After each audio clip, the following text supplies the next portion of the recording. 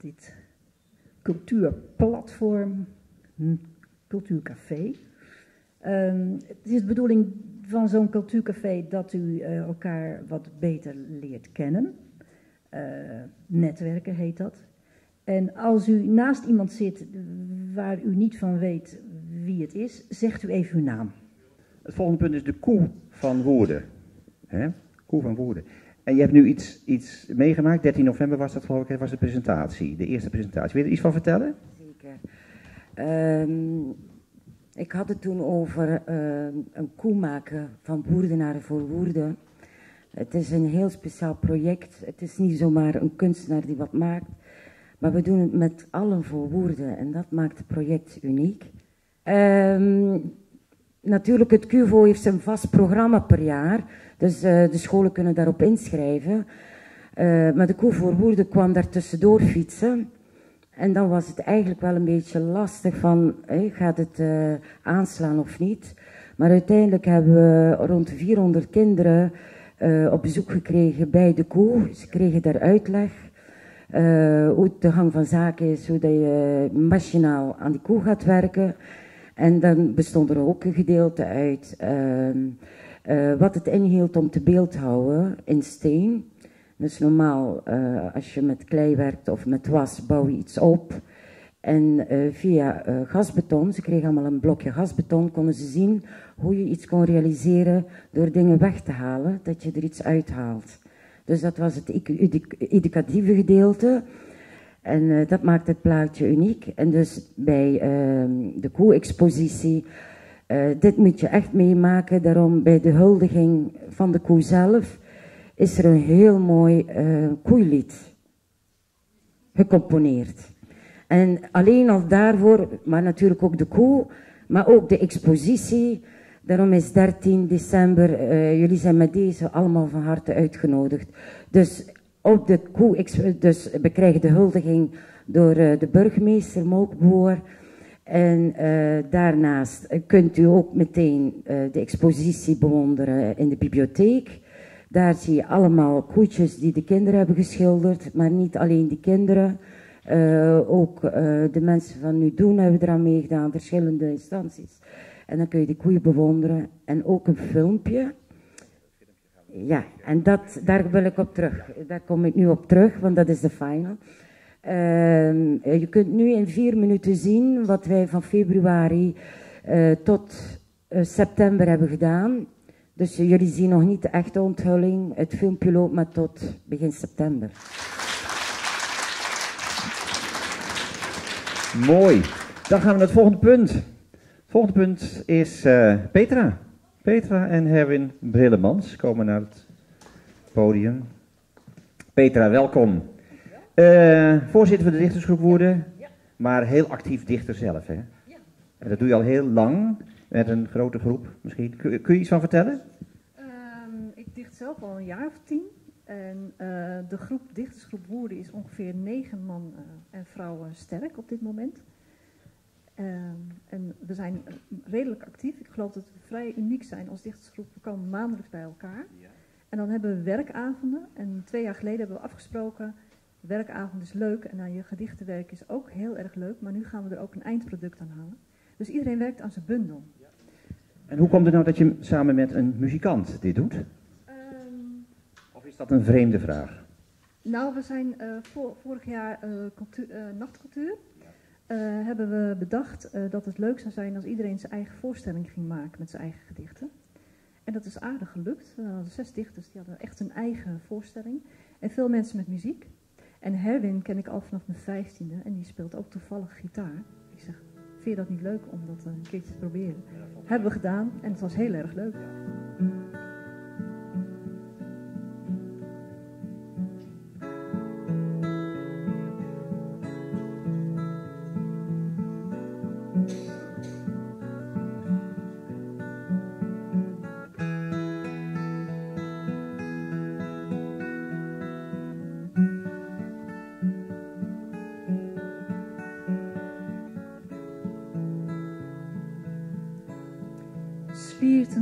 Gewortelde meisjesharen. Ondiep water met bloemen getooid. De vissen gaan trouwen vandaag. Het glinstert hier.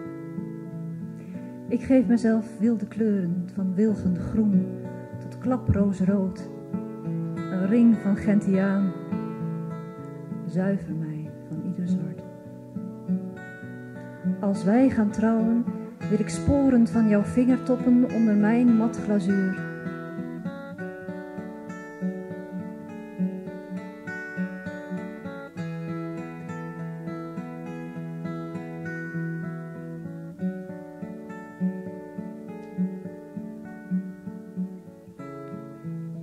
Zal schilferen, langzaam verbleken, van ouderdom breken. Ik zal schilferen, langzaam verbleken, van ouderdom breken. Vergaan tussen het hout dat ik zie groeien en teruggeven aan de laatste bochten van de Semois, waar de vissen trouwden, al ver voor ons.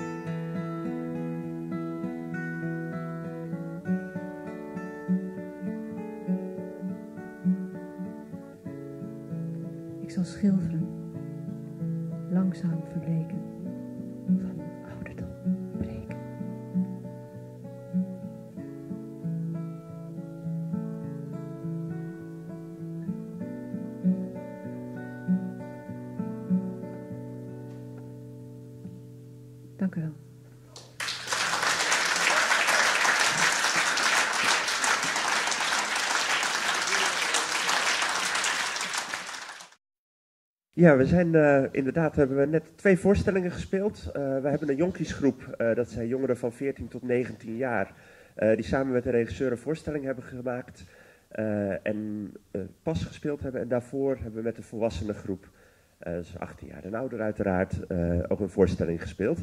19 tot en met 22 maart, dan spelen we met de volwassenengroep. En de voorstelling van de jonkiesgroep staat nog niet helemaal vast, dus daar kunnen we nog niks over zeggen.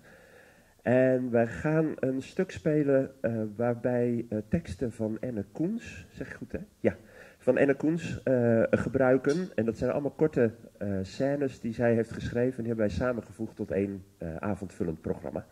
Dus daar zijn we mee bezig. Ik ga iets vertellen over nachtcultuur, natuurlijk. Want we zijn eigenlijk met z'n allen ontzettend blij. En ehm, we hebben een feestje volgens mij in het culturele wereldje van Woerden. Want vorige week waren wij op het gemeentehuis, s'avonds. En toen is de nieuwe top 10, top 10 bekendgemaakt van de evenementen in Woerden. En ehm, ja, wat stond er ineens bovenaan? Dat was nachtcultuur.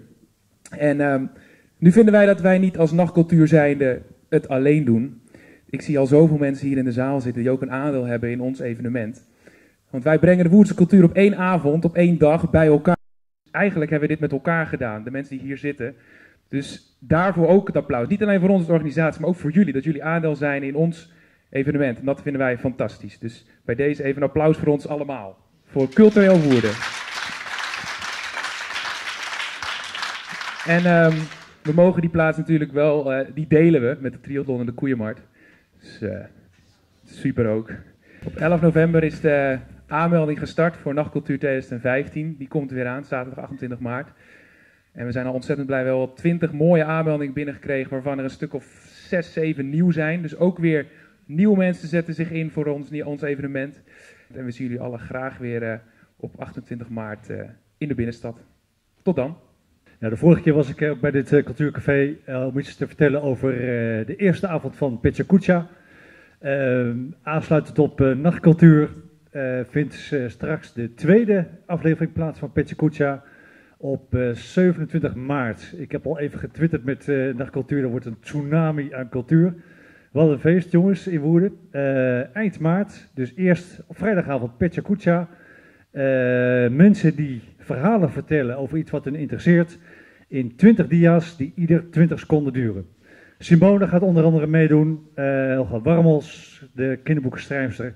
En ik hoop ook heel veel andere mensen die, die bijzondere verhalen hebben. Dus dat gaat allemaal plaatsvinden op eh, 27 maart. Eh, mensen die deel willen nemen, eh, ga naar www.petjakuchawoerden.nl en eh, daar vind je alle informatie. En tot ziens. In het dagelijks leven ben ik buschauffeur.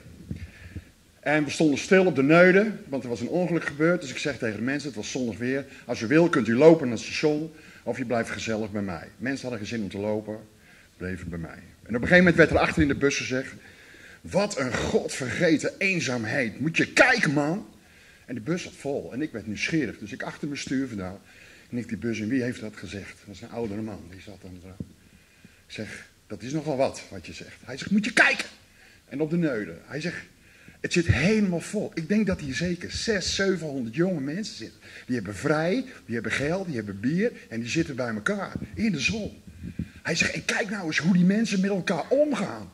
En toen gingen we met de hele bus, ook ik, kijken. En ik had er, je ziet het wel, maar je neemt het niet op. Maar doordat we met z'n allen daar gingen kijken, zag je dat. Er zaten 600, 700 jonge mensen.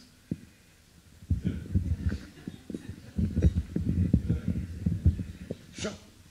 Zo. En we hebben er een kwartier gestaan, we hebben een kwartier gekeken en het ging een kwartier door. En ik denk dat het de hele dag door ging.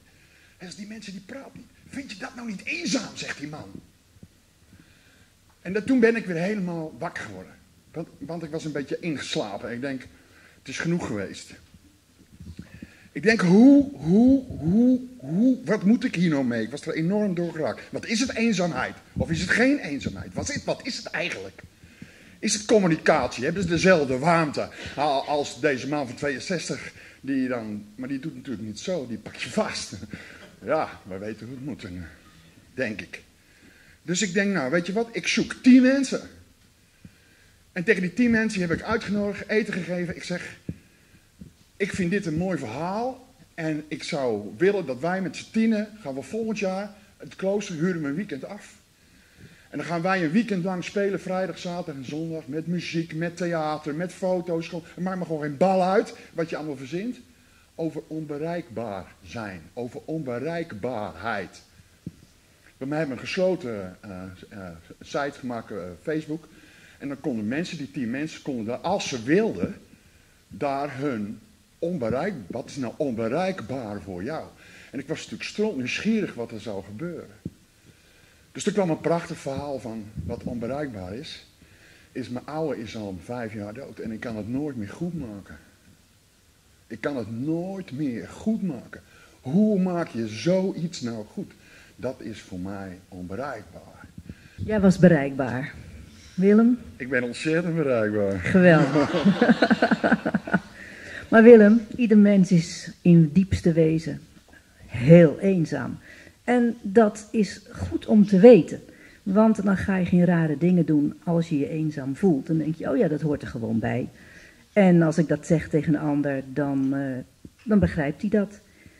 Uh, het boek van Griet op de Beken, Kom hier dat ik u kus, dat raad ik iedereen aan om te lezen.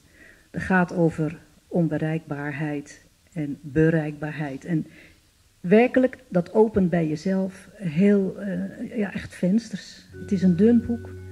En uh, Griet op de Beken is zo beeldend in haar taal en ook heel simpel.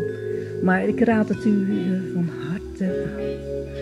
Wrote you this song to send you my love. I brought you flowers with that ain't enough. Singing these words make me believe that I can touch your heart again. Singing these words makes me feel good, although you have left, never come back. You called in my mind. Uh, iemand die net terug is uit Dubai, hebben wij hier in ons midden. Wel Simone, onze computerheld. Zij leert kinderen programmeren. Ze loopt heel erg vooruit. Ze loopt precies wat de Europese Unie ook wil: dat kinderen op school leren programmeren. We, hebben haar. Maar we moeten er wel gebruik van maken, flink betalen. Want dat, uh, dat lukt nog helemaal niet hoor. Jammer hè? Um, ja, ik, had, ik had voor jullie een uh, presentatie voorbereid met allemaal ingewikkelde schema's. Over uh, belang van kinderen, computers en creativiteit. En de educatieve waarde van mijn project. Maar Jullie vinden het veel leuker om gewoon fo- foto's van kinderen in Woerden te zien. Dus ik heb al die ingewikkelde schema's eruit gegooid. We maken een soort Mario game, een Super Mario game. En ik heb deze, eh, deze jongens heb ik, eh, in het park gewoon het spel laten naspelen. Het werkt hartstikke goed. Dus ze, ze zijn hier aan het oefenen voor een game. En springen door het eh, Westdampark heen. Ga je naar het volgende level. En nu ben je in Woerden in de Leidse Straatweg.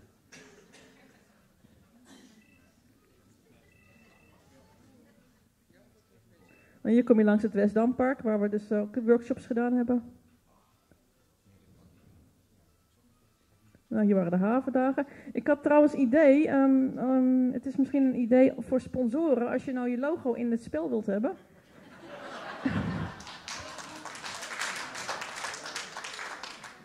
Deze twee eh, hebben nog niet betaald, maar dit is het voorbeeld.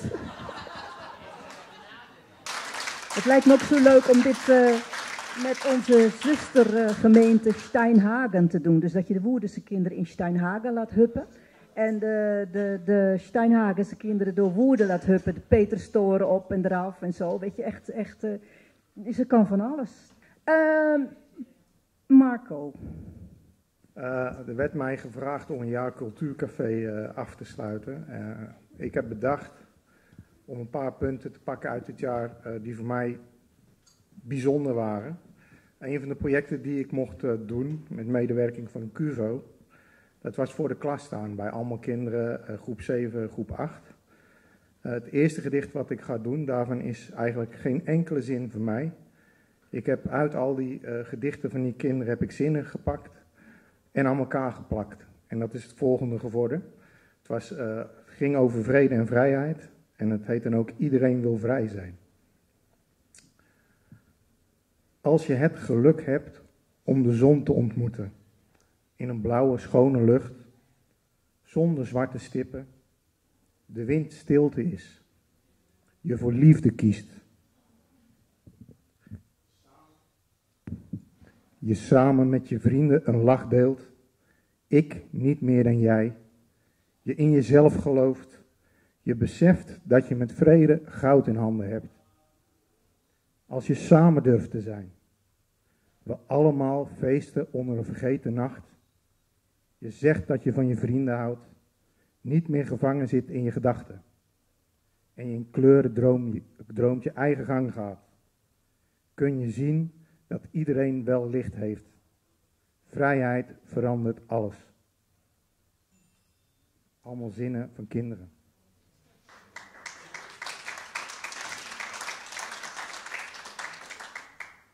Een ander iets waar ik eigenlijk heel erg mee zat, dat was eh, de ramp. Eh, ik moest of mocht de dag reizen nadat het vliegtuig was neergestort.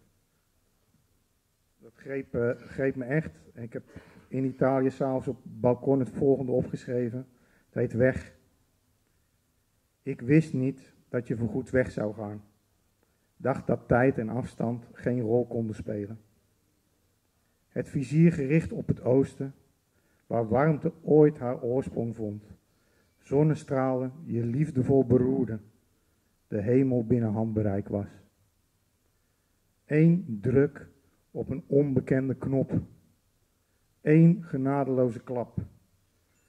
Toekomst stortte reddeloos ter aarde, waar de koude grond haar opslokte. Duisternis haar jeugd claimde. Haar vele namen bibberend op een zwarte lijst werden gezet. Het Westen baadde in bloed. Alle antwoorden bekend, maar verscholen in mistige politiek. Vragend kijk ik omhoog. De sterren kleuren rood vannacht.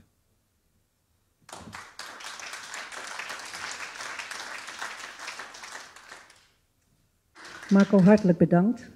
Het is altijd moeilijk, vind ik, poëzie. Het is zo vol met beelden en eh, prachtig. Lex, nu jij, hè? Ja, ja, ja. Lex, eh, jij weet er alles van. Jij met de Romeinen. Dankjewel. Nee, ik ben niet alleen Romeinen, maar ik ben nu wel even heel erg met Romeinen bezig. Eh, vooral de afgelopen jaren. Dit project is in 2010 begonnen. Eh, Romeinse limes. We hadden toen nog geen echte goede naam ervoor. Sommige mensen denken dat het limes is, maar dat is het dus niet. Hè? Dat zijn die citroenen. Dit is echt limes.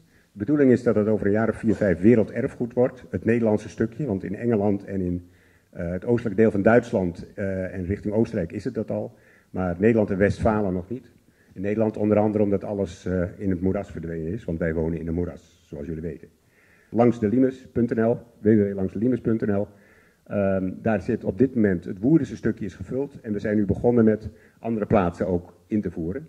En die website die we verwijst ook, daar zitten dus eh, routes en, eh, dat zie je daar beneden, routes, bezienswaardigheden, arrangementen en evenementen worden erin aangebracht.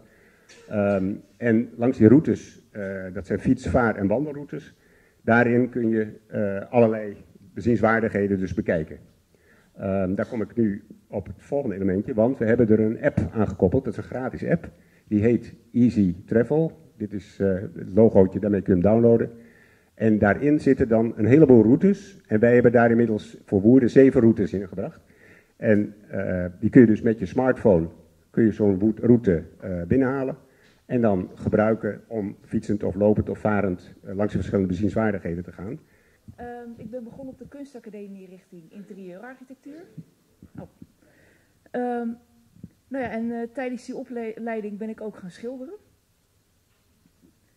En eh, zoals je ziet hou ik heel veel van eh, organische vormen en veel kleurtjes. En op een gegeven moment dacht ik van nou, het lijkt me wel leuk om eh, mijn werk ook te fotograferen.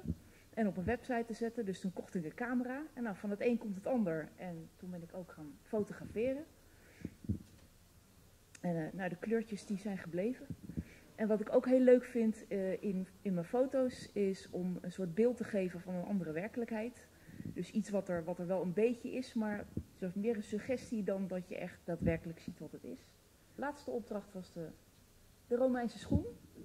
En die heb ik dus met mijn collega gemaakt uit het Archeon. Eh, hij werkt er nog steeds, ik inmiddels niet meer. Ehm, en we hadden het idee om eh, iets in de speeltuin te doen, iets interactiefs. En deze schoenzool, of tenminste Romeinse schoenen, die hadden van die eh, stalen noppen eronder. Daar, konden ze, daar hadden ze goed grip in de klei. En wij wilden die noppen wilden we uitvergroten. En dat zijn hier eh, stapstenen geworden, daar kunnen de kinderen overheen lopen. En dan kunnen ze dus letterlijk eh, in de voetsporen van de Romeinen treden.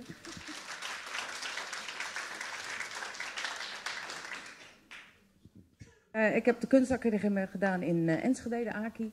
Ik heb 16 jaar een Eemnes atelier gehad voor toegepaste kunst. En nu zit ik eh, in, eh, in Harmelen. Ik zat even in het kunstgebouw in Harmelen. En ik heb nu een eh, atelier voor af en toegepaste kunst.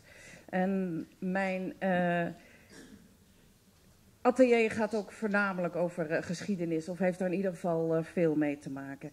Nou bleek dus dat we een beetje moeite kregen met, die, eh, met de steiger. Dus ik had een plan ingediend, allemaal heel leuk en aardig. Ik denk, nou, een soort stijgertrapje moet lukken. Dat bleek een hele heisa te worden, want je, er kon daar geen gewone stijger staan. Het was daar allemaal, het was zo'n klein randje. Die dagen waren ook hartstikke heet eh, in Nederland.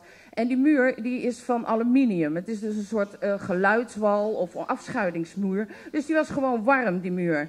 Dus zo gauw ik het verf erop eh, smeerde, dan siste het water eraf en de verf was droog.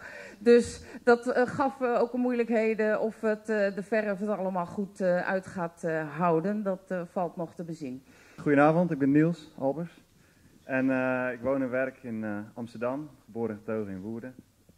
En ik heb twee kunstwerken gemaakt.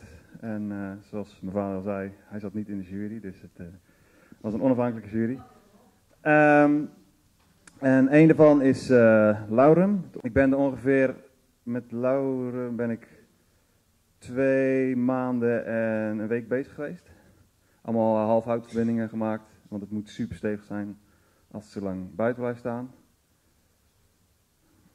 Ja, het is echt een, eh, even hier zo, echt stampvol, een klein eh, werkplaatsje, maar eh, gelukkig had ik buiten nog wat ruimte om eh, te testen. En ja, toen had ik ze allemaal één keer, maar ze moesten dik worden, dus moest ik ze allemaal nog een keer maken. En eh, ja, eh, 3D maken. Nou, en daar eh, zie je dan het eerste echt ja, hoe ze eruit komen te zien. En dan het, eh dat zag je heel even snel, de, eh de uitspatgrond van Woerden en dan het huidige straatplan. Klap eromheen, om de vijfhoek. Het zijn vier, eh, vier delen en dan ehm één, één kant is open, zodat er een trappetje is, zodat je ook erin kan klimmen. En zodat je ook echt, eh, ja, dat je hem als een uitkijktoren kan gebruiken. En in dit geval uitzicht toren. Drie mijlpalen, dat dus voor die drie belangrijke punten in de geschiedenis uh, van Woerden, die erin verwerkt zijn. Ja, dus uh, dat uh, was mijn deel.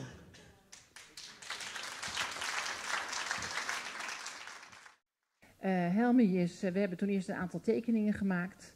Um, Helmi moet ik overigens verontschuldigen, die kan helaas vanavond niet zijn. Uh, maar uh, ja, ze heeft een proefschoen uh, gemaakt. We wilden eerst sandalen doen, maar zoals mijn voorgangster al zei, het was en Lex.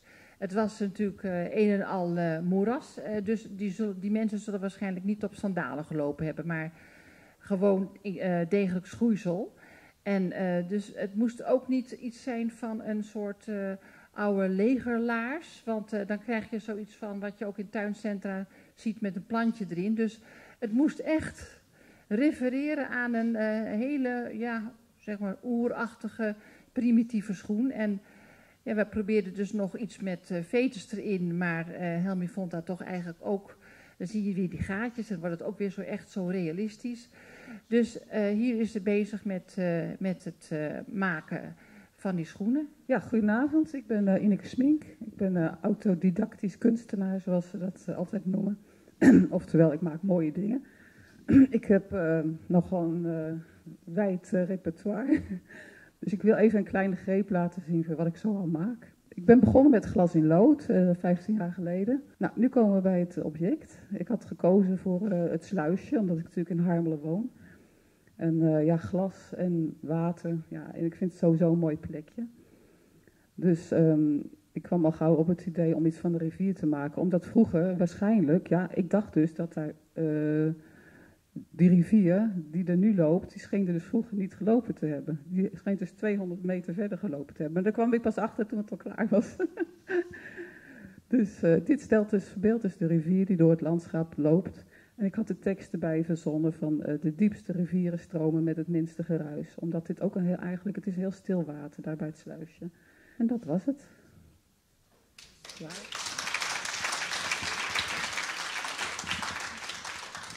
Dan uh, zijn we nu aan het einde gekomen. Gerdien, jij bedankt ook. En iedereen bedankt, iedereen die hier zijn inbreng heeft gehad in dit cultuurcafé. We gaan een nieuwe lijst van cultuurcafés voor het volgende jaar weer in inrichten. We gaan een aantal uh, leuke dingen, leuke thema's weer, uh, weer verzinnen. Uh, we mogen in het klooster hier nog steeds gast zijn. Het is hier fantastisch in het klooster. Leontien zat hier daar net niet. Oh, die is even weg. Nou, anders in ieder geval heel veel complimenten voor het klooster dat ze alles zo perfect hier voor ons hebben georganiseerd.